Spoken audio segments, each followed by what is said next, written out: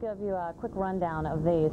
It's the moisture coming up from the Gulf of Mexico. We also have, of course, that wind shear that we've been talking about, and that is the southeasterly winds at the surface and that strong jet stream coming in from the west. And when you get those winds shearing, in other words, coming in from different directions at different elevations in the atmosphere, that can a lot of times set you up for the potential of tornadoes. So that strong jet stream coming across and the upper level low actually caused some of the problems in Colorado, but the severe thunderstorms will be farther east. Let's take a look at what's going on right at the moment. We'll start with the radar because I want to show you these thunderstorms developing to your southwest if you live in Chicago. Very quickly, you can see how they've just erupted in the past hour or so, and this cell right about through there is crossing Interstate 57. In Moultrie County, your warning has expired, but now in Cole and Douglas County, Coles and Douglas County, uh, this storm is coming through and potential for severe weather with it. And one of the things we're concerned about at this point is large hail, but with a tornado watch, of course, which has now been extended across Indiana, we have to be concerned about the potential for tornadic development, which we haven't seen yet.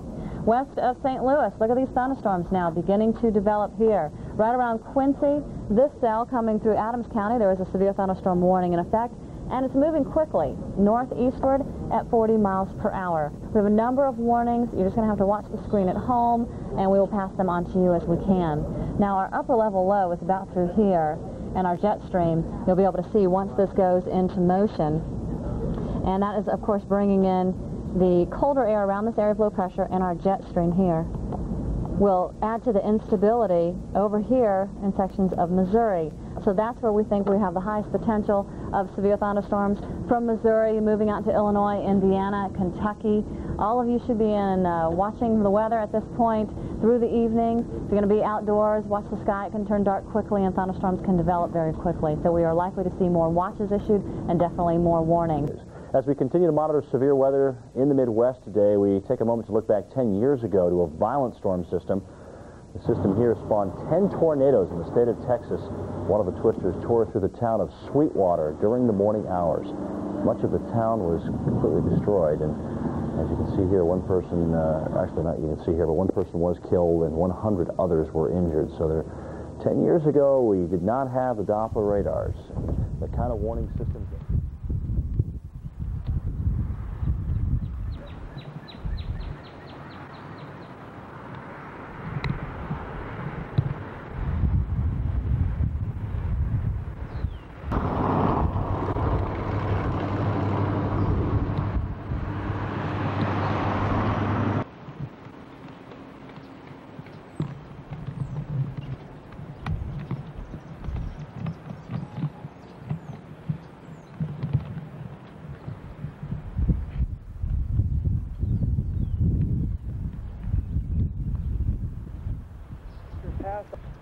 something was different about Meijer's.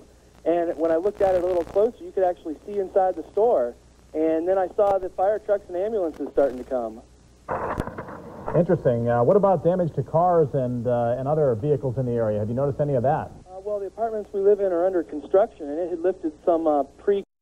Tarring, uh, you know, putting the, the, I guess, is it the tar paper, the lack of what it is on the roof where they just got the sheeting up and had rolls of it up there. And I thought to myself coming in, I don't think they're going to make that today or not. Let's take a look at our Doppler Plus radar again now, and we'll stress what's going on for you. We have tornado warnings that remain in effect now for northern Johnson and Marion County until 8 o'clock, and also Howard or Hancock and Shelby counties until 8.15. This is our street level map now. You see we've gone to the northern portion of Marion County and southern Hamilton County. You see the northern edge of I-465 there. There is a secondary line, and the, uh, the intense thunderstorm is right at the intersection of 431 and uh, uh, 465, just on the due north side uh, of the city, and then also down around the Eagle Creek area uh, in Pike Township uh, and Brownsburg. It's kind of a secondary line of these thunderstorms that will continue to move eastward across the area. So both north and southern portions of Marion County are getting hard hit now with not only very heavy rains, but varying sizes of hail so far. But we've had no other reports of severe weather other than that. Uh, some storm damage has occurred in Johnson County tonight. Downed trees, some downed power lines, and a number of homes now without electricity. And that's a good point. If you lose your electricity, how do you keep in touch to know what the weather condition is in your area. Well, hopefully that's when you have the batteries and the portable radio. Right. You know, we always stress you need those fresh batteries around home, and we hope that you have those so you can listen to uh, uh, the radio station and catch up uh, on what's going on there. That will keep you abreast of what's going on. And the NOAA weather radio is another item to have, which will also let you know of uh, what's going on uh, there. Uh, Kevin Shoemaker is one of our uh, sky trackers that uh, helps us out throughout the day, usually with uh, some pleasant weather, high and low temperatures. Kevin, what have you got for us now? Oh, right now we're uh, just catching the tail end of uh, about pea-sized hail. Uh, we're getting heavy rain, but uh, the hail seems to slow down a bit. Okay, out of Cumberland. Thank you. That's Kevin Shoemaker, and give you an idea of where he is. We uh, okay, go ahead. We have Kevin, uh, or not Kevin, we have David McNally in downtown Indianapolis right now with uh, more from just to the west of the State House tonight. Kevin? Or uh, Dave? This is the situation downtown. Just in the last couple of minutes, we had a big uh, torrent move through here of water. Again, take a look in these storm sewers. We're at Ohio and Senate Street. You can see them taxed. But just here in the last 30 seconds, it seems to have died down. We started seeing a little bit of hail, very small, pea-sized hail. That uh, that seemed to pass on after just a, just a couple of moments. In fact, we collected only a couple of them on the back of our truck. Uh, the rain subsided for now. We have not uh, uh, seen any signs of any damage. There have been a few uh, fire sirens uh, passing by, unclear if that's any storm-related problem. A lot of thunder and lightning, but that too seems to have abated here uh, just in the last couple of minutes. But boy, did we get the winds. In the last live shot I did about five, six minutes ago, there was practically no wind. The rain was just falling straight. Let's get a look back here at these at these lights. You can get an idea of the, the movement of the rain a little bit, seeing it seeing it in the light of those trees. It's really subsided though right now, but it was falling straight down. And then in the last few minutes, these huge wind gusts were just just moving that wind, taking our umbrella, moving us and our equipment a bit. Uh, but that seems to have died down now, possibly the, the piece before another storm because of the, the uh, distance back that, uh, that these storms are going. But that's the, that's the latest uh, that we have down here, uh, downtown, live at the State House. Again, uh, things seem to have calmed down a bit, but we had some ferocious winds and rain just in the last few minutes. Back to you. All right, Dave, thank you. And I guess we should make the point that even though it appears to be calmer, that does not necessarily mean the danger is past. No, not at all. Not at all. We want to stress that, that people be aware of that because uh, the watch remains and it remains uh, in effect for a, a 45-minute period anyway, really for good reason now. Now, we're going to kind of give you a preview. Let's look off to, uh, well, uh, through the Greenwood area, Franklin, in the southwestern area. We'll bring in our street level map, give you a little closer look up at where the uh, more intense thunderstorm is, and you can see just to the west of Highway 9 and north of 74 uh, in the southeastern part of the area, and uh, still north of the Shelbyville area. But Shelby County, uh, of course, is under a warning, and now Rush County, which is just off to the east of that, as this storm continues to move eastward. So uh, people in the uh, Bogstown area uh, should be aware, as well as in the city of uh, Shelbyville, be aware uh, to take immediate shelter if need be. As I've had report here of pea-sized hail. This is at uh, 62nd in Michigan. This is the northwestern side of Marion County. Here you can see the secondary line now uh, in the northwestern part, just southeast of Carmel, extending uh, back down uh, through Pike Township in uh, the northwestern sector as we zoom into that area, and the intense thunderstorm continues to move toward the east and across the southern part here of Hamilton County and staying fortunately to the south of Carmel. But there's a pretty decent cell, just a little speck down here near the Zionsville area. But all of this is just inside now the I-465 loop. So it's a secondary line that is developed, and the history of these things has been to give us some intense rainfall along with the varying sizes of uh, hail and some gusty winds. But the main cell continues to drift toward the east, slowly making its way out of Marion County, on off to the east through uh, Hancock County, and now Rush and Henry counties are put under a tornado warning until 8.45 this evening. So since we have a couple of new counties under the tornado warning, let's take a look now at those tornado safety tips once again. Whether you are in a house or whether you are in a, uh, an apartment building, the best thing to do is go to some kind of interior room. A ground level room would be the best. Also, if you're in a mobile home, you want to get out immediately and seek a more sturdy building. And if you're in a car, stop, get out, seek some uh, shelter in a nearby ditch if possible. But by all means, uh, it's the time to do this now. It's time to take some action because the tornado warning has been issued. And again, if you see storm damage and you'd like to give us a call and tell us about it, or if you see perhaps a, a funnel cloud or even a touchdown of a tornado, you can call 639-NEWS. That's 639-6397. Okay, I understand that Bill is ready to talk to us. He can't hear us very well, so we're just going to throw it to Bill and let him talk about what's happening out near Plainfield tonight. Bill? All right, Bob. We are out here along Highway 40 where we've been throughout the course of the night between uh, Belleville and Plainfield. We had a tremendous hailstorm come through here. It was about half hour to 45 minutes ago. Ground was literally covered by the hail that was falling. But you still see some of it still left over here. And in fact, some of the hail here in fact, some of the hail here is up to about the size, well, almost the size of baseball. We had some folks come in from just a little west of our position and brought some of the hail that fell on them. And you can see we had floods of hail come through here. This is after about 45 minutes of melting.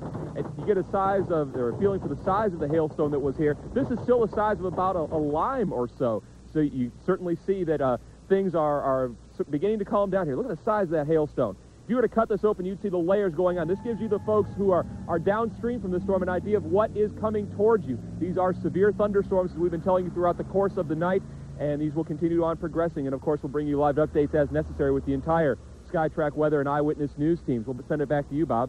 All right, Bill Meck doing uh, difficult duty tonight. Boy, and, uh, let's punch the button and show you where he is. He's back here near Plainfield, where most of the storm has already passed, and it still looks like it's uh, Right, uh, here, nasty yeah. conditions here's, out there. Here's 465 on the west side of the area here now, and of course he's in Plainfield, just out uh, Highway 40. And you were talking about some of the damage reports from Greenfield. We also have a report that that's where the uh, Meijer Thrifty Acre store was uh, was damaged Oh, as that- well. and we do have another uh, confirmed touchdown now of a tornado in Morgan County. Is that correct? Northern Morgan County, a confirmed uh, touchdown of a tornado there. We're going to take a two-minute break right now, and we'll be back, and we'll talk more about this severe weather. So stay with us. We'll be right back.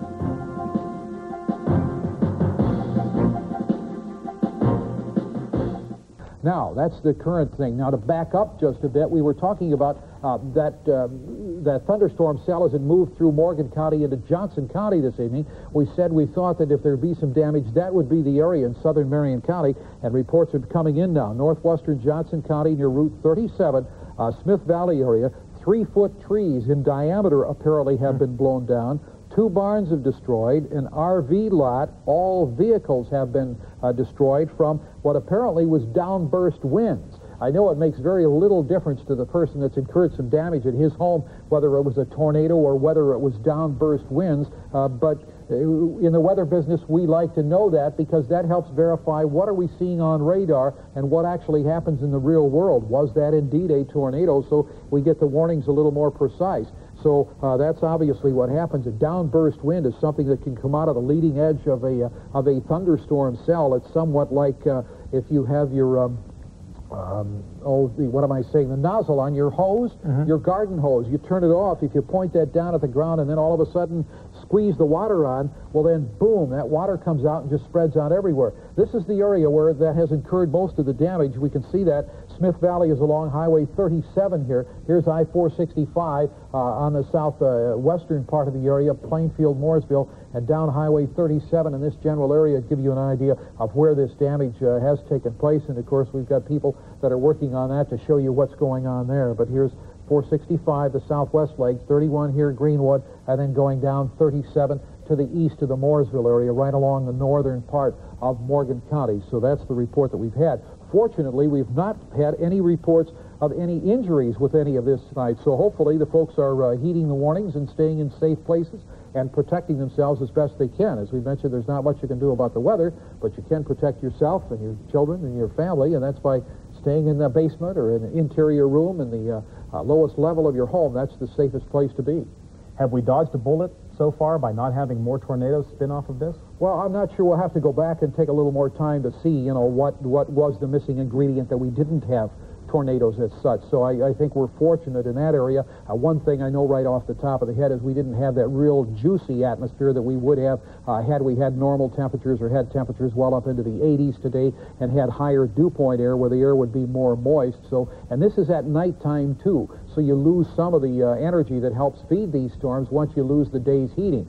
So this will work a little bit to our advantage that we're coming into the nighttime hours, but that still doesn't mean that tornadoes will not occur. Indeed, they will. And as we've been told earlier, back in Illinois, where there's still more thunderstorms to come our way, they have reported numerous tornadoes there. So this is just part one. As you say, John, mm-hmm. we may have dodged this particular bullet, But this is uh, only out for a while. We still have the watch for all of Indiana until 11 o'clock tonight. So we still have kind of a long way to go before we can say this is all over with and we've all survived. A bit earlier this evening, we saw some severe rain and lightning in downtown Indianapolis. Let's take a look at our Skycam picture right now from here at Channel 13, looking back at downtown Indianapolis. And as you can see, it is uh, certainly much more clear than it was. A light rain still falling here, but uh, nonetheless, uh, the uh, the brunt of the storm seems to have passed.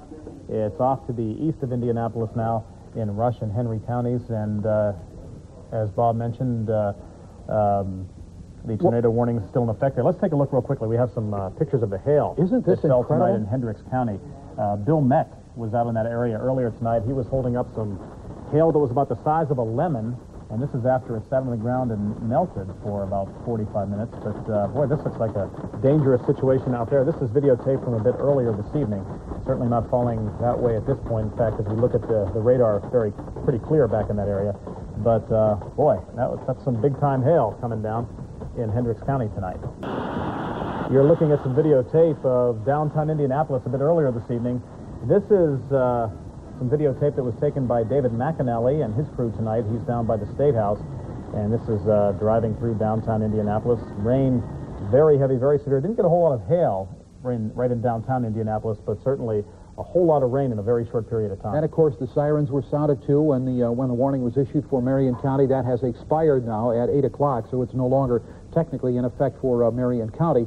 Uh, but uh, the siren was there. But I thought it was interesting that David seemed to say that some people were just didn't really pay a lot of attention to what was going on. I thought, well, that's that's rather strange. which is not the right move to make when you have a tornado warning in your area. Our weather watcher in Rushville is Mick Saunders, who teaches school over there, too, and has been a great uh, weather eye for us off to the southeast. Mick, bring us up to date, will you? uh, the amateur radio uh, local net up collecting uh, information uh, at about 7:50 p.m. this evening on the Rush Henry County line at Gwenville. We had uh, marble-sized to golf ball-size hail, and it's been moving westward. At 8 o'clock, we had pea-size hail at Arlington. Uh, 8:02, we had dime-size hail reported at Henderson, and at 8:04 at this location near Occident, we had uh, dime-size hail, and it's continuing uh, as we speak. Reports of any wind damage or anything like that that you're aware of, right, Mick? Uh, they are checking an unconfirmed uh, funnel cloud sighting uh, right as we speak on uh, amateur radio at this point. Okay, great. Mick, thanks very much for your help. Appreciate it. And if need be, uh, of course, call us back and we'll hear from you later on. And uh, good luck for the next uh, half hour or so over there, okay? There you can see the action back in Illinois now. This is a composite of radar and some very strong thunderstorms up in the uh, northwestern part of the area there. will give you an idea of uh, what's going on in Illinois and the northwestern part of Indiana. But then that line just uh, kind of thins out a bit, but still some individual uh, strong thunderstorm cells in central Illinois. And then it picks up again, uh, well, west of the Terre Haute area. I'm trying to make this out on the map. And then extends south of St. Louis back across the southwestern part of Missouri.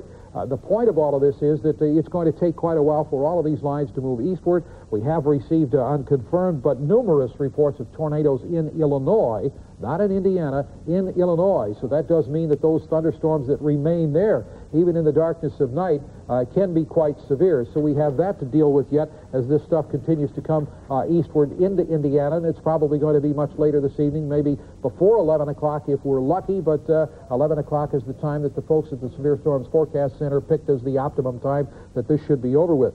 Well, we have a gentleman on the phone from Greenwood right now. Joe, uh, can you tell us what you saw down there tonight and how much damage you have around you? Well, it's Jill, actually. Jill, okay. Um, yeah, about 7 o'clock when the storm came through Greenwood, we got about two-inch sized hail that came down and some real strong winds. Um, we can't see any damage, but we're across the golf course from the Meijer store where it was reported that the roof came off, but we can't see anything now. There were a lot of sirens and a lot of emergency vehicles at the time. Are you in Are you in your home, uh, Jill? Yes, sir. What What are you? Where are you watching from, if we might ask? What have you done with your family to uh, protect yourself? Well, we don't have a basement, but we went to our ground level. We have an interior uh, hallway with a small bathroom, and we took shelter in there. Do this before, Yes, yes.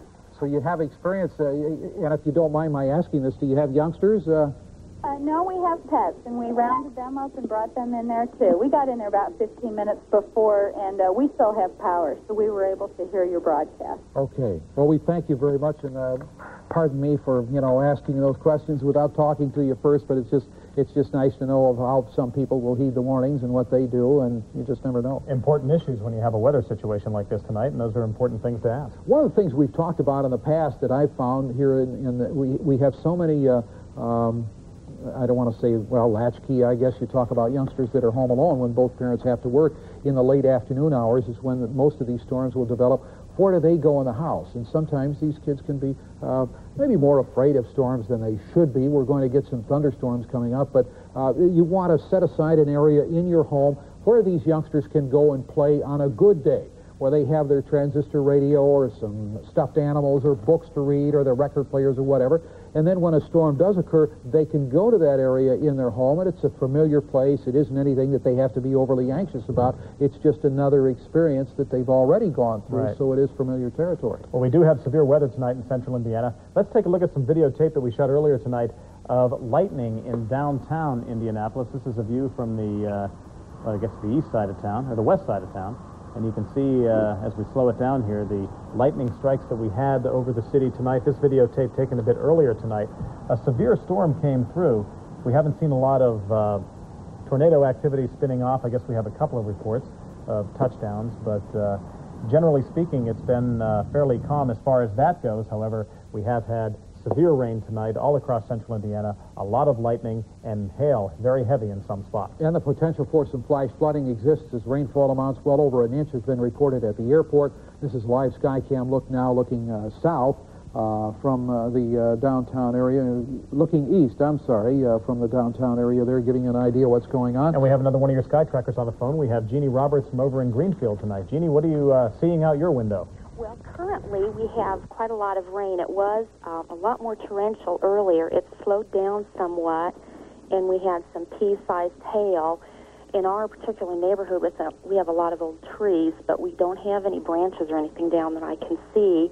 Um, the wind has picked up a great deal, though, compared before the rain was coming down straight down, and now it's definitely more windy. I don't have a rainfall amount. I haven't gone out. Okay.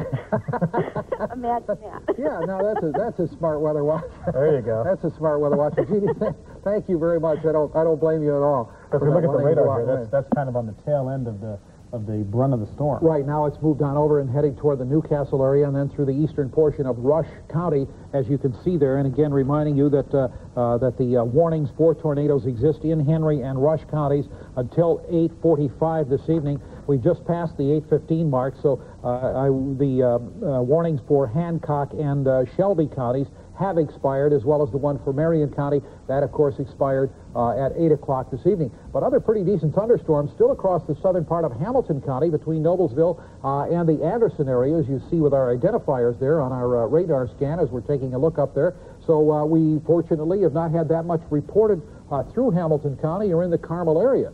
And we have a report now from one of our viewers, Steve Richards. He is calling from south of Lebanon. And uh, Steve, I understand you had some damage up there tonight. Yes, I have a Florida room roof on my roof, and I'm looking to uh, for someone to uh, get it down before the next storm comes through. I'm afraid it'll tear up our house a lot worse than it already has. Now, this is something we haven't heard about, uh, damage up in Boone County tonight. Uh, No. Most of the damage that we've heard about has been south of Indianapolis and Greenfield and, and uh, in the Morgan County area. Indianapolis, sir.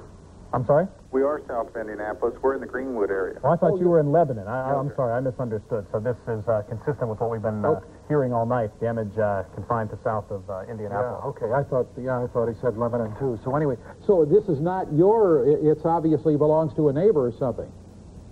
Oh, he must be gone. Is he gone? He's gone. Okay, Okay. okay. Well, uh, that uh, you know that fits in then, I guess, with the exactly what had happened uh, earlier. That we thought northern Johnson County, northern Morgan County, where the potential is there for a tornado. And uh, again, we mentioned to you because uh, it uh, it really doesn't make any difference to you if you incur damage, whether it was a tornado or downburst winds.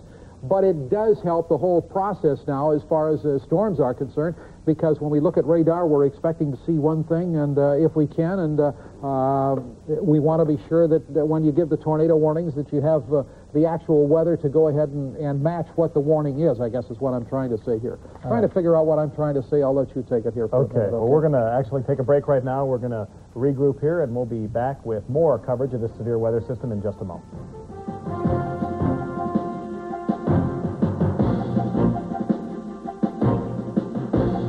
Uh, we have a, another viewer on the Yes, we telephone. do. We have Jenny Smiley from Hazelwood. And Jenny, tell me, what do you see out your window tonight?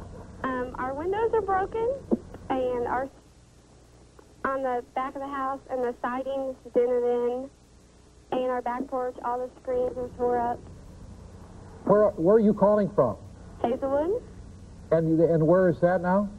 um, near Plainfield. Near Plainfield. Okay. Okay, just want to be sure again, the southern part of the area, that seems to be what we'll do is put all of this together. You still with us there? Are you? Jenny, did we lose you? Well, we apparently uh, lost Okay. Jenny, but uh, and now we have Sky Tracker Kim Morris on the phone to tell us uh, what things are like in his area tonight. Kim? Yeah. Go ahead. How you doing tonight? Well, we're busy. How are you? Uh, you can hear me picking up glass. Our bedroom's full of glass and hail balls. Is that right? How big was the hail that you saw, Kim? Well, was in Peregrine when a neighbor called me and said out on all my windows out of my house, so I come up here from work. And we got, uh, there's still hail balls piled up against the back of the house size of tennis tennis balls. Is that right? How are how, how's your family and kids? Everybody all right? Yeah, they were all down south with some friends, so we got lucky there, but I guess just south of me about a mile, they got hit worse. There was, a, I guess, a tornado touchdown in the Fox Hill area. Okay. They've got uh, Decatur Township, Mooresville in there, trying to get just get people out that's trapped. Okay. But uh, there's a lot of everybody's windows and cars got tore up, their roofs. My pool's strung across the front of the yard. Oh, it's been a long time since you've seen something like this. I'll bet. Uh, that one we had in November, what, two years ago? Uh, about that. Yeah, that one got us in. We just got a new roof. Now we're going to get another one. Oh boy. Kim, thanks very much for the call. Okay, Bob. All right, good to talk to you. Kim Morris, he's been helping us out here for several years, so giving us reports of what's going on. That, of course, is... Oh, we have, uh, this is a new watch area now that has just been handed me, and it's been extended. This is a watch for tornadoes, and they have a new one. It covers most of the state of Indiana, and I'm sad to report they have extended this until 5 o'clock in the morning.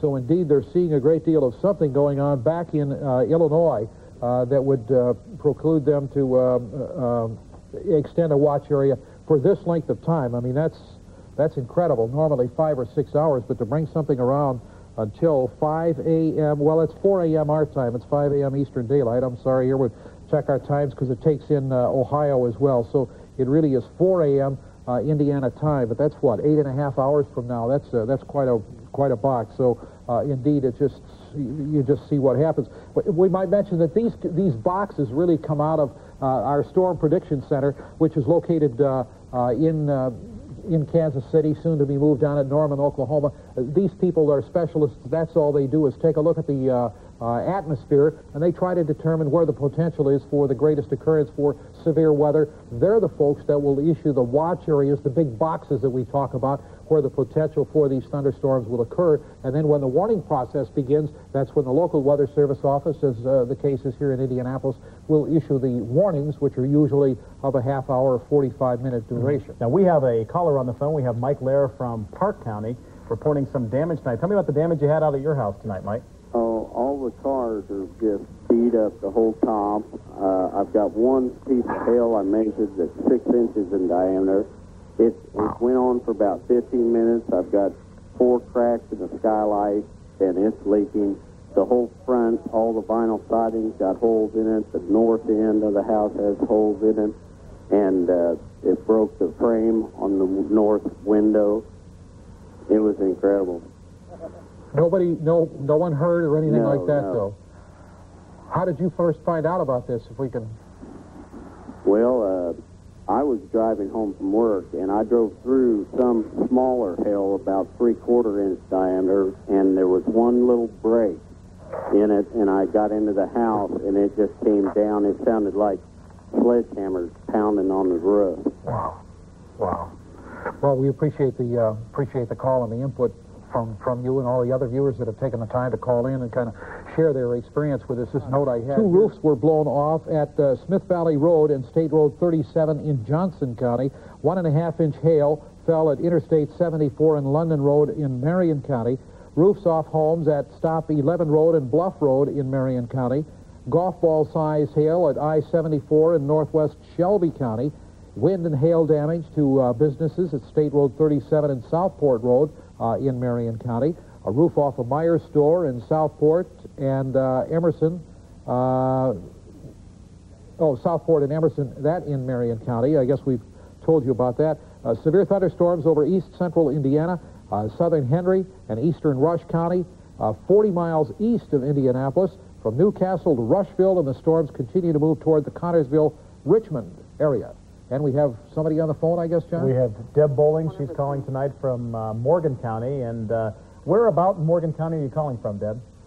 Okay, I'm right up in the northern corner, right outside of Marion County and Johnson County. All right, and what kind okay, of damage have you right sustained? off of Man Road. Okay, and what kind of damage did you have there tonight? Pardon? What kind of damage did you have tonight? Okay, right before dark, we had a lot of hail. The hail was anywhere between the size of a golf ball and a softball. That's Wow. how big it was. It was hitting on our roof. We felt the roof moving. My daughter, her two kids, my husband, and I went to the bathroom, and we could hear water coming up through the drain. This all took place in about five to ten minutes. When we came out, we saw buildings are completely turned upside down. Power are down. We have a building next to us, which is our garage. It's completely gutted. It was out of cement block, and the cement block is all over our acre of land. All of our stuff is scattered everywhere. Our house, the only particular thing is we have two windows completely busted out, and the roof is messed up. That sounds like some uh, possible tornado activity down Between there. here and one mile from here is a grade school, an elementary school called North Madison School. Between here and there, we are being told that there are houses that are completely gone. Windows are blown out of some, roofs are completely off of others. And I have a, we have a great big pole barn. We don't, but neighbors do, uh, probably 30 feet from my patio, and it is completely laying on the ground. Well, the important question, I think, uh, for you and your family is everybody okay? Did you come through it okay? We're just in shock, I guess. And uh, we have no electricity. We can't go anywhere because there's power lines down all over the place. So we're sitting here with candlelight. Yeah, well, you um, have our best wishes. I guess that's all we can say is just hang in there tonight and be patient. Uh, as we mentioned, they've got the power and light crews are out trying to do the best they can. We've had, what, 15,000 folks without power here uh, throughout the area um, right now, so they're working as fast as they can. And they, I, I never understand how these people can get out there and work anyway when you still have the thunderstorms and all the dangerous lightning that's around uh, to begin with. So, uh, you know, we... Uh, we're just glad that uh, everybody, the people, are safe. Unfortunately, not much you can do about your property, and that, that's that's really that's bad. Well, anyway, let's uh, take a look at a couple of graphics here to bring you up to date. Now, the watch, of course, uh, has been extended for the potential for tornadoes until five o'clock tomorrow morning. Essentially, it covers the entire state of Indiana. So we're concerned about that because of uh, what's going on back in Illinois and in Missouri. There are plenty of storms uh, farther out to the west. Have to move through the area. This will give you an idea of some of the action that is taking place now. Very intense thunderstorms, really from Indianapolis on up east of Chicago, you see now, uh, out into the Great Lakes area, moving into the southwestern part of uh, Michigan, and then other thunderstorms back in Iowa, scattered all through eastern Illinois, and then southwest of Terre Haute. Another line of thunderstorms extends from there southwestward through Missouri, south of St. Louis. All of this stuff has to come east and a little bit probably to the northeast as this area of low pressure in this system finally brings this stuff uh, to and through our area. Thus, uh, the folks have seen fit to uh, extend the watch for the potential of tornadoes throughout Indiana, much of the Midwest. It extends uh, into Ohio as well, but that uh, includes our area until uh, 4 o'clock in the morning. Uh, let me correct myself. That's 4 o'clock Indiana time, Eastern Standard Time, 5 o'clock for the folks over in Ohio. That's how I got mixed up is because it's, the watch does cover so much part of uh, Ohio We as have well. uh, Kathy Harlan, one of our viewers from southern Marion County tonight. And uh, Kathy, tell us what kind of damage did you have in your area? Well, actually, we were pretty fortunate, all things considered. Um, I had two cracked windows in my upstairs. I live in an apartment. I live in a brick apartment building. And um, the two front bedroom windows are cracked, and I did see some dents in some car, uh, the hoods.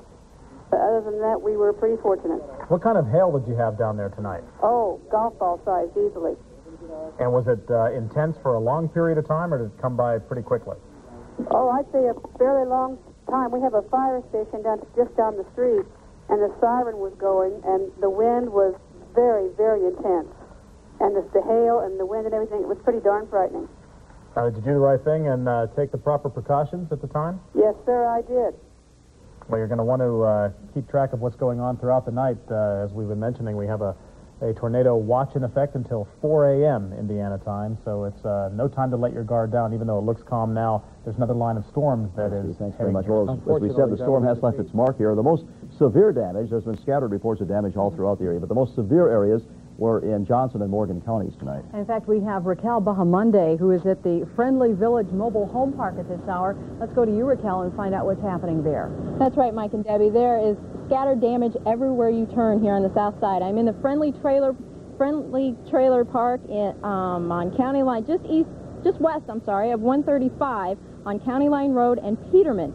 There is damage to this trailer park. There's skirting that is ripped off on several of these mobile homes, as Jack's showing you right now. Um, there's some power lines down in this area. The roads are blocked off. Traffic is awful. If you are out and about tonight, please do not come down to Johnson County because everywhere you turn there are fire trucks, there are people, there's trees down all over. We are being told that there are 15,000 customers without power down here on the south side. Joining me now is Michael Ham. He's a resident here, lived right next door, and he was here when all this happened. Michael, can you tell me what it was like? Well, uh, like I said before, I, I've lived in a mobile home for 13 years, and uh, this was the first time in the 13 years that I actually, I think I got scared about it.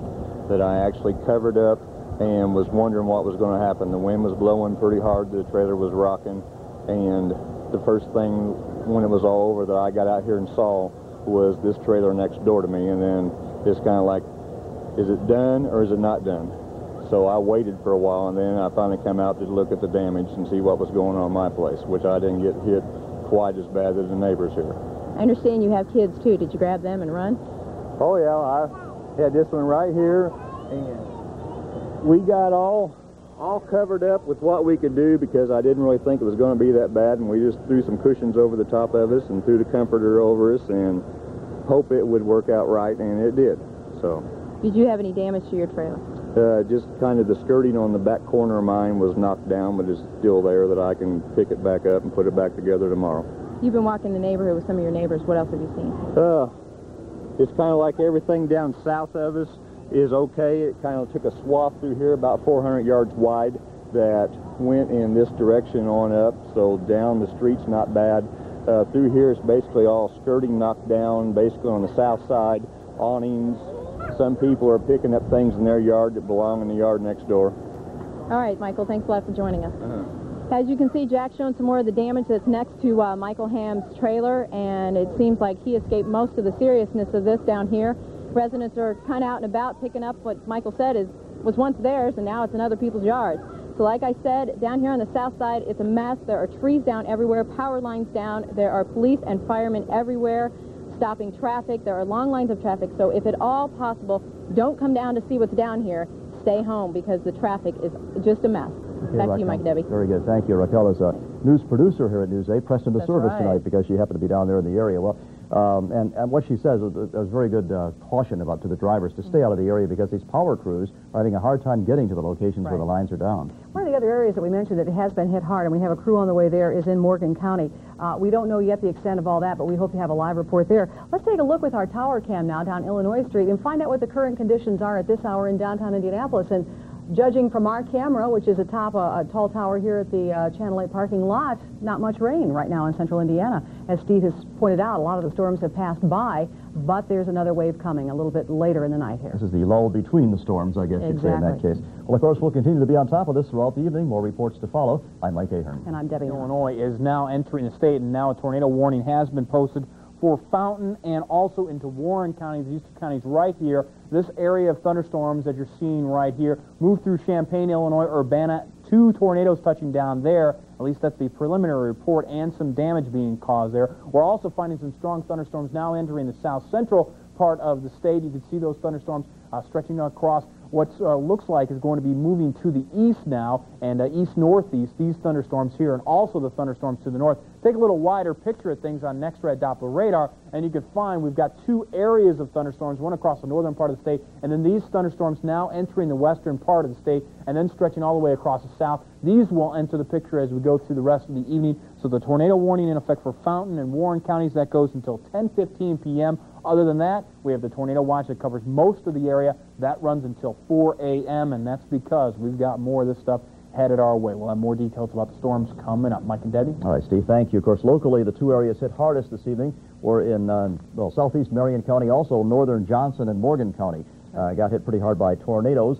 Uh, we understand there's a market called the Friendly, well, the Friendly Village Mobile Home Park, for one thing, was uh, hit hard by a tornado this evening. No injuries there, but they believe they might have a gas leak, we understand now, in that area. So uh, people are being taken out of there. And also the Hampton Market, that's a long-time market down on the south side along County Line Road. Mm -hmm. Its entire roof was sheared off and then driven into the back of the, the place. No injuries again in that case. So. They also are centering uh, rescue efforts and uh, rescue efforts actually in White River Township right now and Clark Townships.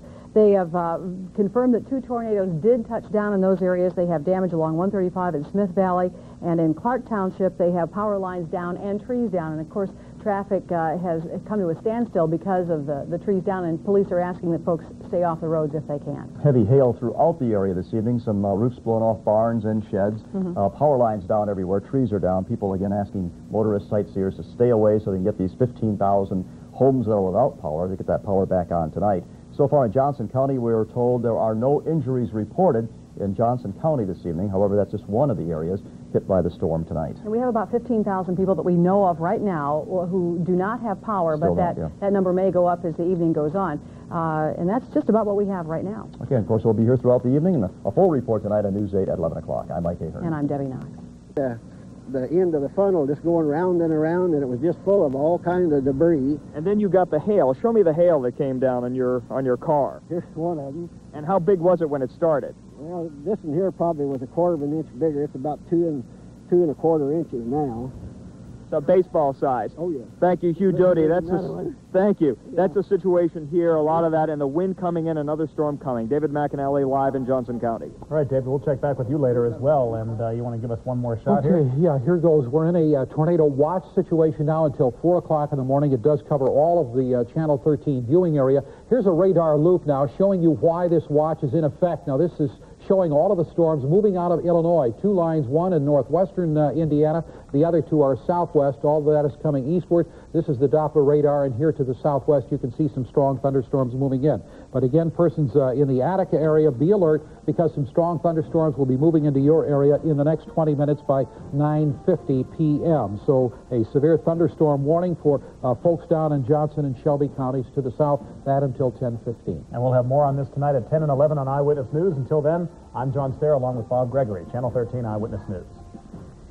This has been a special report from Channel 13 Eyewitness News. Good evening. I'm Debbie Knox. And I'm Mike Ahern. Let's bring you up to date right now on the storm damage this evening. The storm struck all across the central and southern view area tonight, but the most severe damage appears to be in Johnson and Morgan counties and also southwest Marion County. We're going to have a live report from that area in just a moment now. But earlier, the storm struck in several counties west of here, including Hendricks County. In fact, a Hendricks County man knew better than to stay in his mobile home when the storms rolled through his home near Coatesville. That mobile home is now considered a total loss.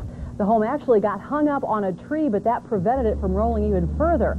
About 10 miles southeast of Coatesville, in Belleville off US 40, lightning struck power lines there. The lines were live and arced, making it almost impossible for firefighters to put out the flames. And in Avon, meanwhile, marble-sized hail fell for about 15 minutes, covering the ground like snow.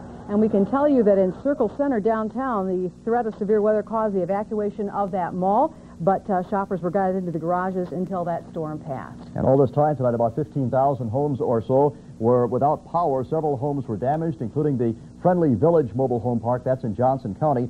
But Marion County wasn't spared, and some of the worst damage was in the southwest part of Marion County along Stop 11 Road. We have Scott Swan live at the scene now to tell us what happened down there. Scott?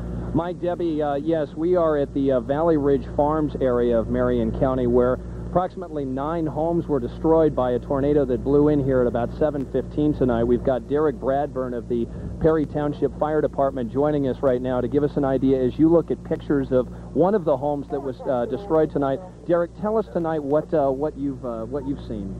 Okay, we got the call about 7:20, and our first unit arrived here. Um, he was met with heavy debris in the streets and noticed several homes were damaged and automatically called for more help. You uh, had a total of nine that were damaged here in this Valley Ridge uh, Farms area. How many are destroyed at this point? Right now, we've got three that are uninhabitable. Um, like you said, we've got nine that are that are pretty much uh, pretty heavily damaged. Give us an idea of injuries. Okay, we had one injury uh, when we first arrived. Um, it was a lady that had breathing problems. She was treated on the scene and released. She didn't didn't require transport to the hospital. Uh, estimate of damage at this point? So it's too early. We don't even have one. What, uh, when you guys arrived here, what was the, the mood like in terms of neighbors coming out of homes and neighbors that were still in their homes at the time that the uh, tornado came through? Um, my understanding, uh, everybody was still pretty much in shock. They were out looking around, surveying the damage of their homes. Uh, the way I understand it, there was a couple close calls. Uh, people didn't expect it as soon as it came. Um, they were pretty much in shock. You're, you're looking right now at the at the home that it appears to be the second worst damaged here. Again, this is the Valley Ridge Farms area in Marion County. Uh, that was a uh, an owner, and we talked to the owner a few minutes ago, and he said that his roof absolutely blew in. He said he and his daughter were inside the home at the time of that the tornado came, and all he saw was a gray cloud. Is that what is that a sort of a typical reaction of the people that you've been talking to about what they saw? Right, they were all um, they were all very surprised. They all said that they were watching the TV and stuff, watching the storm and stuff, um, but they were all surprised at the, at the, quickness that the wind came up, and they're not sure if it was a wind or a tornado. Let's, uh, Jack, let's turn around here and give uh, folks at home an idea of what's been set up here. Give us an idea, Derek, if you would, uh, of what you've set up in terms of a command center. Uh, how are residents being handled here? Okay, right now we've got the uh, Mecca command van here all the uh, officials from the Sheriff's Department, the Perry Township Fire Department, the Sheriff's Department, um, Emergency Management. Um, we've got some members from IFD here also. They're all in there running uh, running the command structure from there. Um, as I said, we've got American Red Cross on the scene. They're going to help um, displaced residents if they need any assistance tonight. Again, just to give you an idea of, uh, of the damage, there are damaged homes on both sides of the street. And Jack, if you would just sort of pan down here, uh, this uh, street sort of circles back to the right, and it appears if, uh, Jack, if you can focus in on that home that we were looking at before, that home, again, one of the, uh, the most heavily damaged homes in the area. Uh, uh, their wife, I guess, was out bowling tonight, didn't even know about the tornado, and the husband and, and daughter were at home and had to had to weather through this damaged area. Are there lots of trees? Give us an idea of some of the areas that we cannot see, Derek, of some of the the areas here that we cannot see in terms of what damage is, is okay. There. Um, like you stated, there's, there are homes damaged on both sides of the street here, and there's also some damage behind these houses that you can't see, uprooted trees, things along that nature. One thing we want to remind everybody, if your power should happen to go out, to be extra careful when you're burning candles. Okay. That's uh, Derek Bradburn from the uh, Perry Township Fire Department. Thank you for joining us tonight. Again, uh, this is the Valley Ridge Farms area in Marion County. A tornado blowing in about 7.15 tonight uh, damaging nine homes. Three of them are uninhabitable, and residents right now, some are here in the command center, others are trying to find a place to live. Uh, Mike Debbie, we'll send it back to you at this point. All right, Scott, very good. Thank you. Scott Swan reporting live from the scene. Well, the storms are going to continue rolling through the area. Let's get to Steve Bray now for the very latest on that. Well, we do have a couple of warnings still in effect. For Warren and Fountain counties, there's uh, still a tornado warning in effect, but the storm causing that has now moved into Tippecanoe County. We may see actually a warning pop up for that county. That is definitely a possibility, but we have not received that yet from National Weather Service. This storm system uh, responsible for some tornadic activity around Champaign, Illinois, but the storm has hung together and moved all the way into Indiana. Will continue to move across north central part of the state, across southern parts South central Indiana, we're finding some strong thunderstorms here as well. Right now, the only warning we have in effect is for Johnson and Shelby counties. That's a severe thunderstorm warning, not a tornado warning. The intensity of these storms seems to be a little bit less, and tornadic activity not as much of a problem. At least that's what we're expecting. But these areas have been hard hit already, and now seeing some more storms. Show you next, Rad show you a little bit wider view again. You can see the stream of strong thunderstorms tailing all the way down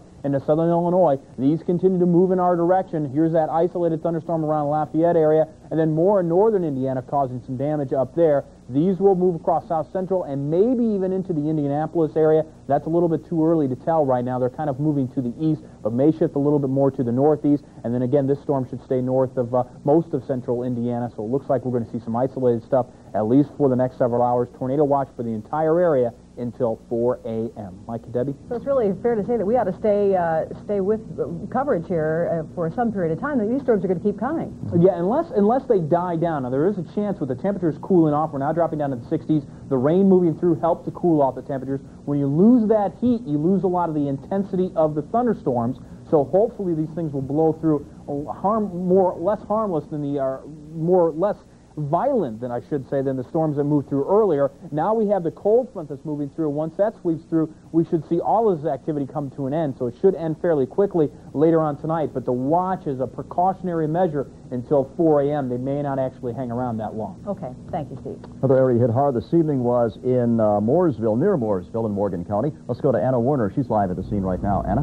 Mike, uh, what you have down here is an area where they're holding residents who can't get back to their homes. When the, uh, when the storm came through, there were numerous homes in the area that were damaged power lines were taken down, and of course that's a dangerous situation with you have live power lines on the ground. So at this point, they're not letting anybody go back into that area. In fact, authorities at this point are having trouble determining what exactly happened back there. They do know that numerous homes were in fact damaged. Morgan County Sheriff Terry Weddle joins me now. What can you say for certain at this hour is happening down there? That we are still trying to uh, get to a lot of the homes to make sure there, there are no injuries. Uh, we, we have no idea at this time how many homes have been damaged. Uh, the northeast part of the county, uh, right here in Madison Township, has been hit pretty hard. Uh, we've set up an emergency uh, settlement over here at North Madison School. That's where my temporary headquarters will be tonight. And we've got people out working every place. But one of our problems, and, and I'd like to stress, has been the some of the residents up here are more or less just being nosy and they're they're getting in the way. Sightseers, and you'd like them to go home and let you guys get what you need to get done. That's right. Here, right. I would appreciate them doing that. Okay. In the meantime, there are numerous cars and residents out here who uh, basically can't get back to their homes. We've talked to people who have relatives with small children down there who uh, don't know what happened has happened to those relatives. We talked to one woman who was told that her daughter's house had suffered severe damage. She doesn't know what happened to the daughter, her husband, and her two children. So um, they're still trying to iron out exactly what kind of damage they have down here. But uh, as you heard the sheriff say, hit pretty hard down here, Mike and Debbie. Okay, Anna, thank you. And just to give you an idea of how violent this storm was, we have here, and let's yeah. get a shot of that if we can. There it is. There we are. Uh, this is some of the hail. This is one piece of hail that right. fell in Greenwood. A little smaller than a tonight. baseball, but yeah. not that much smaller. This is a lot. This would damage your car or house, whatever it would hit. This is hard. This is hard as a rock. Yeah, and then there's a lot of that out there too. Right. So quite a night. And of course, at 11 o'clock, we're going to have a complete rundown for you. Steve will update us on the storms that are still out there mm -hmm. that may be hitting yet tonight. I'm Mike Ahern. And I'm Debbie Knox. We'll see you tonight.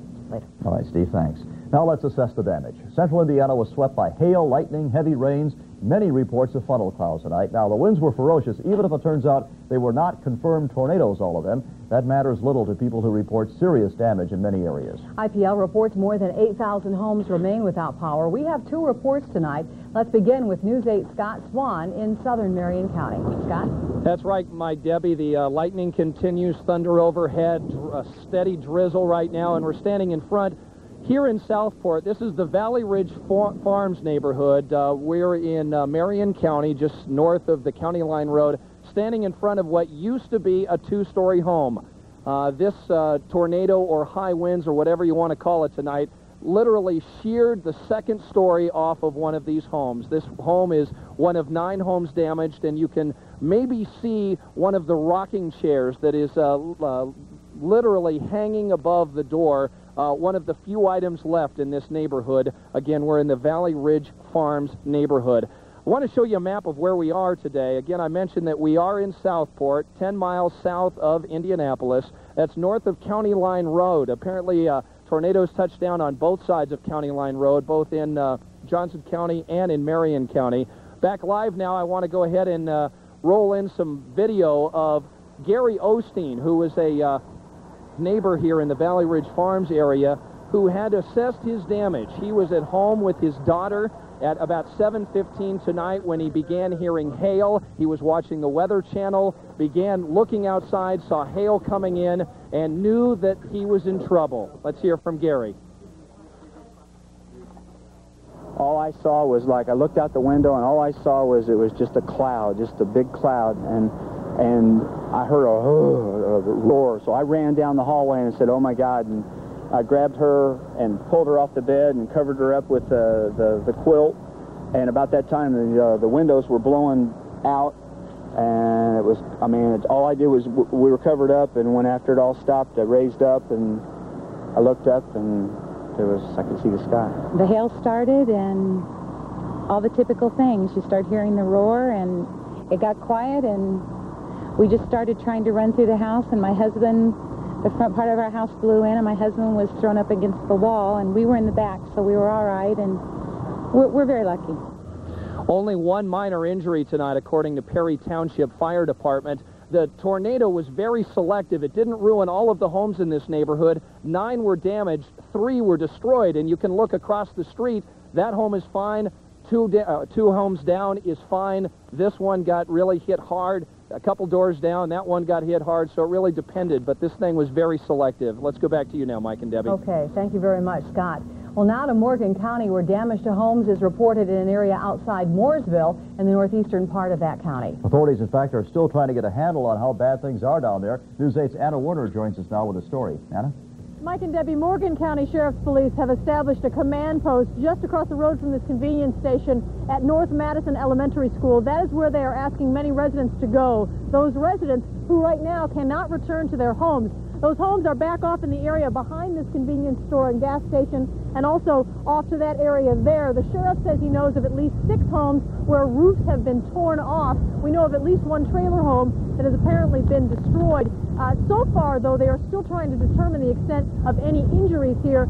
Frankly, they're not sure. They really can't get back in there because there are still live power lines on the ground. The wind is still picking up here, and frankly, that's not going to help them with the power line repairs. There are also trees down across the road that makes it difficult for them to get back. We talked to a lot of residents here, many of whom are very, very startled by this whole incident.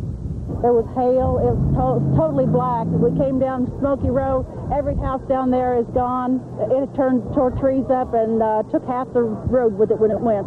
Right back over to the left of us, uh, which is not part of the Fox Hill area. Uh, I've seen at least six houses over in there with the roofs gone off of them, and stopped and checked, and everybody was all right.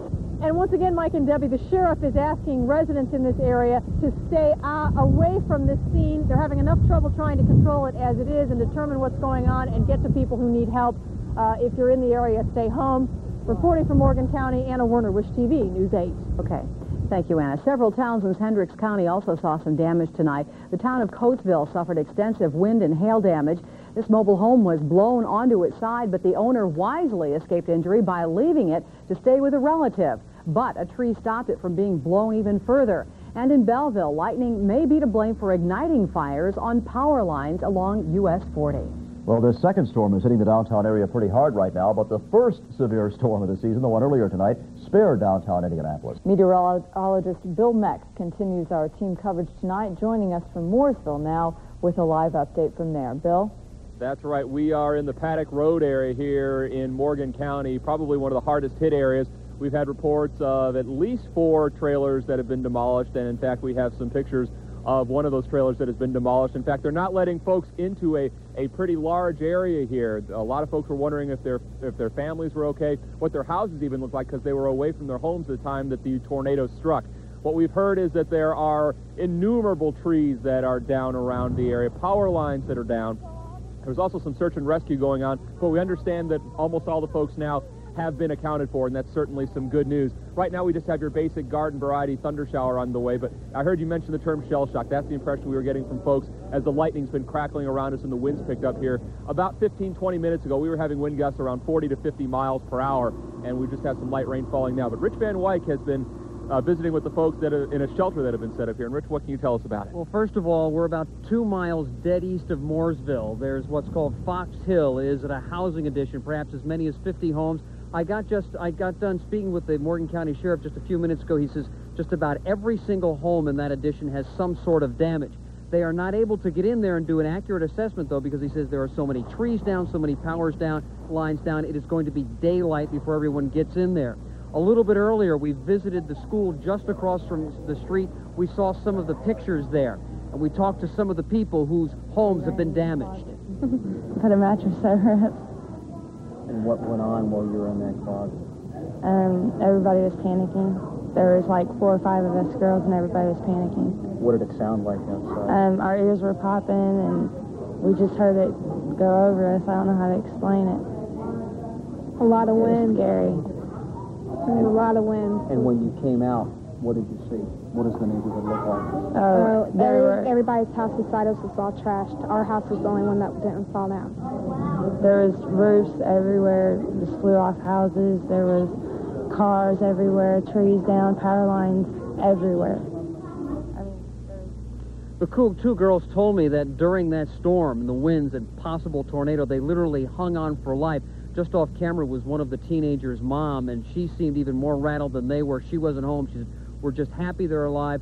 So what? We're going to have to spend the night in a shelter here.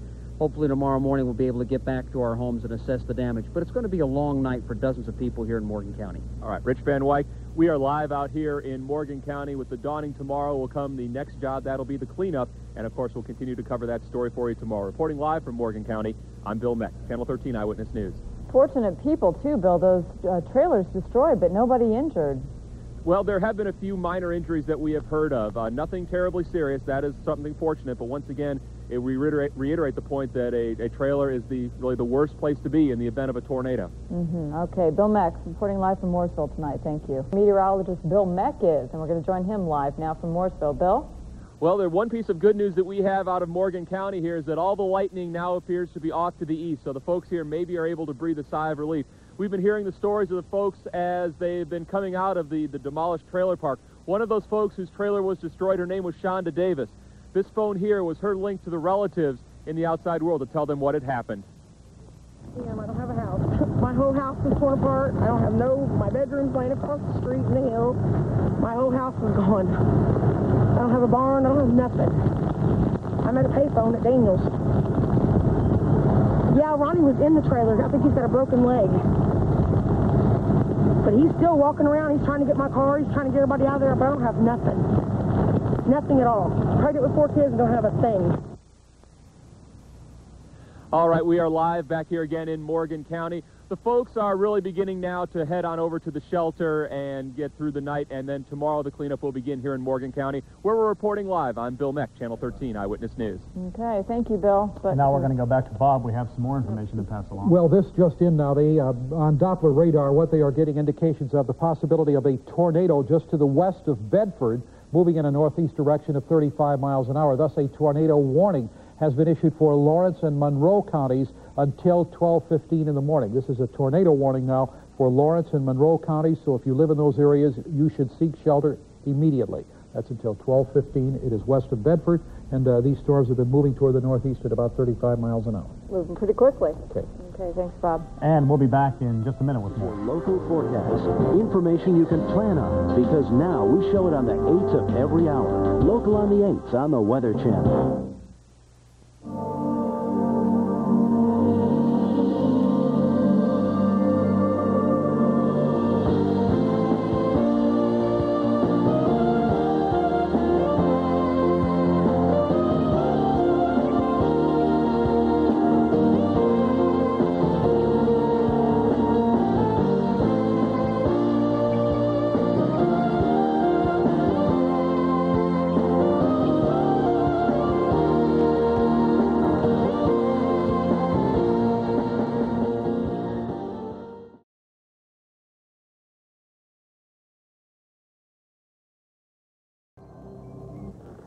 Saturday morning. This is Will Annan, and I'm Cheryl Lemke. The same thing that we've been talking about for days now, and that is the threat for severe weather. So another stormy start to the weekend, I'm afraid, for a lot of folks across the east. That's true. We saw a ton of it last night, also the, the previous night as well, and looks like we'll be looking at some more today, all the way mm-hmm. from New York down to Ohio, all the way down to northeastern Texas. So once again, if you live in the eastern part of the country, stay tuned to the Weather Channel. We'll give you all the updates. But right now, let's take you right to the satellite picture. It's going to reveal where the, some of the stronger storms are, which are still developing now from around Buffalo, New York, down into West Virginia, clearing Columbus, Ohio at this time. But we're still getting numerous warnings coming out on our printers now from Kentucky and Tennessee. Could be looking at some more strong storms developing later on this afternoon over northeastern Texas, too. This is where all that juicy tropical air is right now. It's over the eastern third of the country. Dry air last night was punching into the midwestern part of the country, and boy, did that ever turn the tables across a good chunk of Illinois and parts of Indiana. At least 31 reports of tornadoes now. One, uh, at least one person has died overnight from these tornadoes, and we'll have more on that situation a little bit later on. Let's take it back to last night and show you exactly what did happen. Wherever you see a red triangle on the weather map here, at least a, a confirmed tornado was reported. And you can see Illinois once again in the parts of Indiana, and those storms dissipated somewhat as they moved into Ohio, Kentucky, and Tennessee earlier on this morning, and now they're beginning to cruise as far eastward as extreme western New York State, Pennsylvania, and West Virginia too. But they're going to get stronger later on this afternoon. The current watches and warnings, where you see the yellow shading, we're looking at severe thunderstorm watches out, which cover now parts of West Virginia and Kentucky. The red shaded areas, we are looking at tornado warnings out, or tornado watches out now for Middle Tennessee. A brand new tornado watch has now been issued for parts of Alabama, northern Mississippi, and again, it looks like later on this afternoon, things are going to be lighting up again on the old radar map with some numerous uh, severe weather watches and warnings coming out, and we'll be looking at some big-time thunderstorms one more time. Well, our forecast fortunately doesn't look quite as bad as the weather that we've been enduring in the last, oh, 25, yeah. you know, 30 hours. So. Right. Things are improving today, and uh, a little warm out there. Actually, kind of a nice day to be outdoors, but uh, we really want to take you back to what happened yesterday afternoon, sort of give you a timeline of going through. And the real, the buzzwords this morning have been straight line winds versus was it a tornado? And it's always tough to tell at night because you can actually, you actually cannot see that. So we're going to try to explain that in our graphic segment here in just a moment, so hang with us. All right, let's take a look at the numbers here. This morning we're in the 60s in just about all locations. We're now 63 out at the airport, 62 still downtown, and uh, a very nice start to the morning as we take a look outside at Skycam. A great start to your weekend because uh, most of the severe weather now has moved into Ohio and down to Kentucky, and that'll continue for a good part of today. There's a look at 465 on the north side. Uh, traffic moving along smoothly this, smoothly this morning. Temperature 63 degrees, and the humidity now down to 80%. Wind southwest at 17. The barometer still falling at this hour for that cold front to come through. That'll bring down the humidity for tonight. All right, now, straight line winds. You get a big, strong updraft in the storm, in the front of the storm, and then in the middle there's a strong downdraft. It pushes all the way down to the ground, and then it spreads out. What you see are objects that look like they have fallen like a bunch of dominoes, trees falling one after another. A lot of times if trees are uprooted, they've been blown down like this. So that's usually the sign of a straight line wind. A tornado, a different scenario. What it looks like when you see a tornado is the winds are being pulled up. It's a strong or severe updraft. Trees are twisted out like a corkscrew, and we've heard some eyewitness uh, news or reports here this morning. Uh, some of the people that were eyewitnessing this uh, funnel cloud possibly last night said it did look like it was sort of twisted out. So that may be the sign of a tornado. And the damage is blown in several directions, not all blown down to one side. So that's the difference this morning as we look at Chopper 13 throughout the morning. Keep an eye out for the difference between the tornado winds and the straight line. You can uh, pretty much tell from above what it looks like as far as where the trees have fallen down and as far as the damage. All right, now we'll give you the timeline as far as the uh, weather was concerned yesterday. 3 o'clock, we're in great shape. 79 degrees, looks like we're having a fantastic spring day. However, the ingredients came in from the south with the moisture and that warm air. We had some dry air move in from the west that helps lift these showers and thunderstorms. And look at the explosion right through Indiana, Illinois, right through the afternoon. Severe weather moved through the state. Now, it's improved somewhat today. The frontal system has moved off. This is about midnight, and we'll show you from midnight to around 9 o'clock this morning. As you see, everything now is starting to push away, and we even see the breaks in the clouds. That's why we're getting the sunshine today right there. Most of the energy will stay Flying westerly along Smith Valley Road this morning, we can see that power crews have their uh, have their hands full this morning trying to restore electricity uh, to this side of the county and uh, this side of the roadway down here. Moving slightly north of Smith Valley Road, we can see now the, the sheer power of what went on, looking through a farm field, the debris that is left over from several farm buildings, a grain bin, a grain silo, that has been torn up by what went through here last night. And then, as we often see in the urban sprawl areas right next to a farm, a new housing complex that is going up. And as you can see there, several of the homes, not housing complex, but new neighborhoods, several of the uh, homes that were under construction this morning, last night, or rather last night, were slated for destruction. Those homes simply uh, blown up in the weather that went through this area last night. I'm Rich Van Wyk. I'm reporting live from Chopper 13. We're going to be up for the remainder of this newscast, giving you exclusive looks at the damage and the people whose lives have been affected by the storms that raked across central Indiana last night. Robin? That's right. Many lives affected indeed. Thank you very much, Rich. Well, people in Morgan County are also dealing with a lot of damage this morning following last night's wicked storms.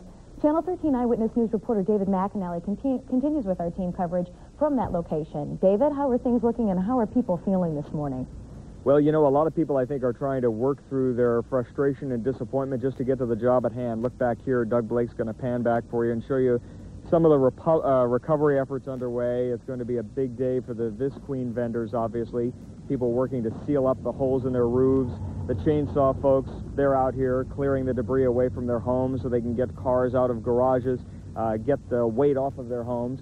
And back here, back behind me now, the uh, power companies, REMC, has its crew in the area, putting in new poles so that they can get lines up to restore power anywhere from 24 to 48 hours. One woman was telling us that uh, the area they are in, they were told, could be two to three days. That uh, obviously a, a lot of widespread problems here. Let's go to some videotape. Uh, this is your house. Heavily damaged. Anybody at home at the time? Uh, no, there wasn't. You know, like I said, I, I was at work up in Indianapolis, and the uh, old lady had the kids, and they were all at the movie, which was a very good thing because you know all, all the kids' bedrooms are upstairs, and they normally normally play and stuff upstairs, and it's just thank God nobody got hurt. As people clean up, they're also debating. State Emergency Management says initially it looks like it was straight line winds that moved through here and not a tornado. But if you get a different story if you talk to some of the people who live here come through the privacy fence, knocked it down, and went right on through here. Right. Then moved over to your neighbor's yard? Yeah, went right on through there. And you actually saw the spinning funnel cloud? Yeah. What went through your mind when you saw that? I, I don't know, just scared to death.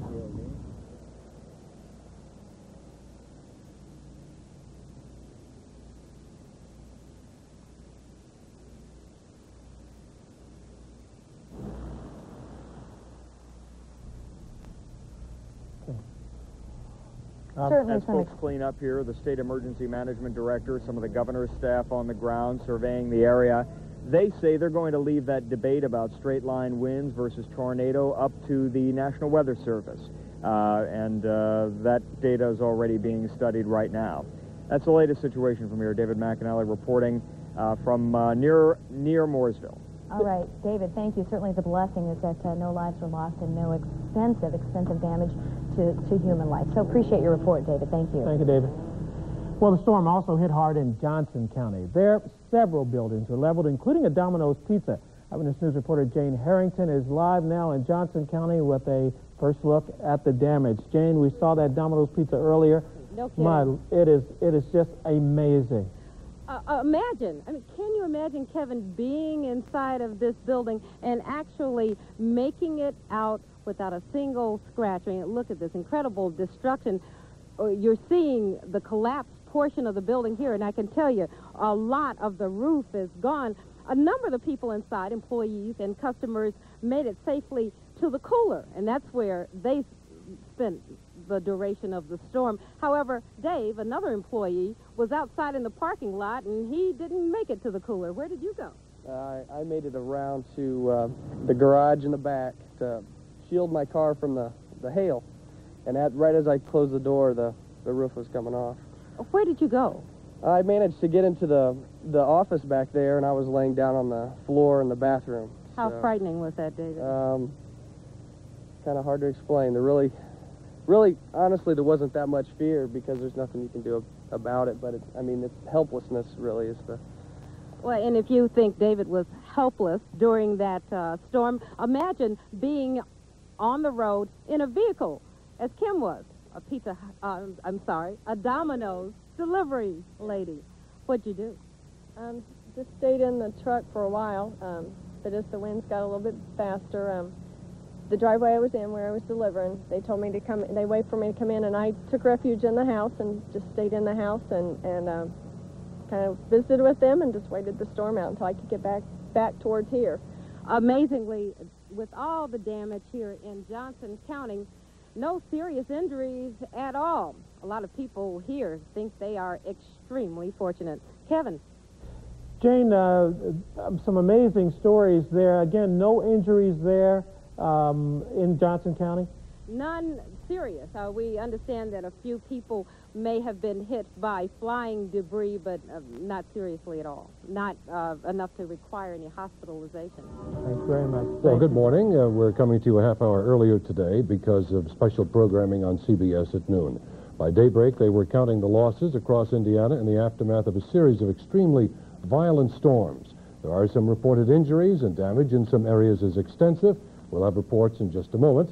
Uh, there were warnings, bad weather was on the way, but when it comes, there's nothing to do but get out of the way if you can. And Steve, the damage is not surprising considering the force of those storms, really. We had a couple of rounds of last night of some intense weather, and it did leave quite a mark on central Indiana. I want to show you a little graphic okay. of one of the uh, storms that we had roll through the area. Now, this was round one. This is an isolated thunderstorm cell that started just around the Terre Haute area. We had a report of a funnel cloud there along with lots of hail as the storms moved out of Illinois. As they moved through central Indiana, baseball-size hail. And again, these are just a few of the reports we had. We had numerous reports of quarter dime-size hail, but all the way up to baseball-size hail in around Greencastle, also into Hendricks County, and then the reports of tornado tornadoes. At least three of them coming down with this first round of storms, but then in total, 23 reports of tornadoes, not all of those confirmed at this point. And with the second round of storms, we had mm-hmm. stronger mm -hmm. winds.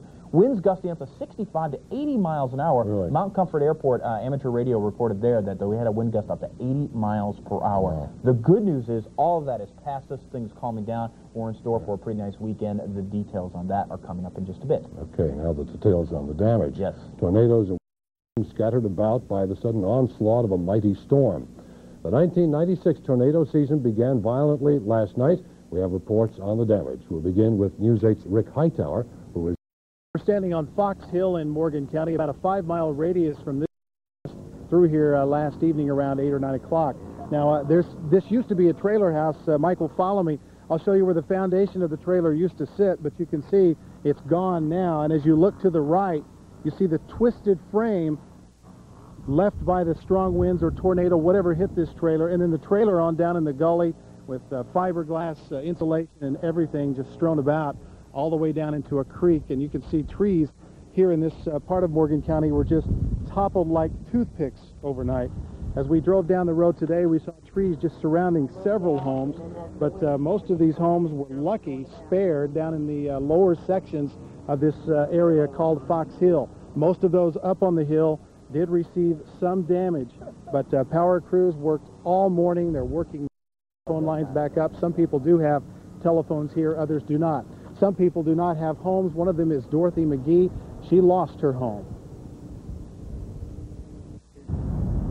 The sky turned green, and uh, uh, then hail started coming down. It was about the size of a quarter, I would say and the wind started getting really bad, so I shut the front door, which was real hard to do because the wind got real bad. And I sent the kids in the bathtub, and I ran in there with them, and it was hard to shut the bathroom door because of the wind. I don't know if the part of the roof had already blown off or what, but uh, all we heard was uh, glass breaking, you know, and things flying around. We didn't even, you know, we was praying Dorothy and her three children, very lucky. Uh, many folks up here very lucky as no one was seriously injured.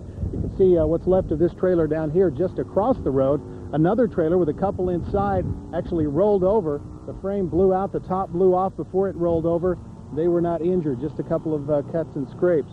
Now, we were told that uh, about 100 people up here on Fox Hill, according to Larry Mason, the township trustee, are out of a place to stay. Almost all of them are out of a telephone and uh, everyone up here still without electricity as power is being restored. A shelter has been set up at a local school, a local elementary school by the Red Cross. Not many takers there yet, but uh, most people seem to be staying with family. And again, Ray, the best thing about all of this, no one seriously injured. Some very lucky folks up here on Fox Hill in Morgan County. Yeah, Rick, that's really nothing short of miraculous. As you look around the scene there, uh, the, the, the devastation is really incredible. I've seen a lot of scenes like this and covering tornadoes over the years, but uh, these folks uh, escaped with their lives, and that's the best thing about it. Okay, very good. Thank you. Rick Hightower, Morgan County. The storms have knocked out power to homes across central Indiana. Residents of Bargersville are being urged to avoid water usage until at least 2 o'clock this afternoon. The main water pump has been affected by the storm-related power outages. Indianapolis Power and Light reports 10,000 homes are still without power this morning. IPL hopes to have power back on by the end of the day. We'll have the updates on the storm damage throughout the day with a complete wrap-up on News 8 at 6 o'clock. Uh, also, uh, heavy damage is reported in portions of Johnson County and southern Marion County. That's where we find News 8's Anne-Marie Tiernan, who joins us with a report. Anne-Marie? Well, good morning, Ray. Yeah, we are just northeast of where Rick Hightower just filed his report. We're in the front yard of Rick Fred Morales' home, and you can see that he lost his roof last night. We have some of his neighbors here helping him out today. Mr. Morales, at this hour, is trying to find a storage bin to put all his furniture in. His furniture was not destroyed, but his home, very much of it was. You can see there are parts of insulation and glass here in the front yard. His chimney here is toppled over on the side of the house. We are in the Valley Ridge Farm subdivision, which is near Stop 11 and Bluff Road in southern Marion County. We're just north of the Johnson County line. And you can see down this strip, this is where it looks in the neighborhood like the tornado came through. And very typical of what we see when a tornado hits, some homes have serious damage and a home next door really have no damage whatsoever. Nine homes in this area did suffer some damage, three of them severe damage. You can see here straight at the end of the street, another home, just like Mr. Morales' home, lost the roof.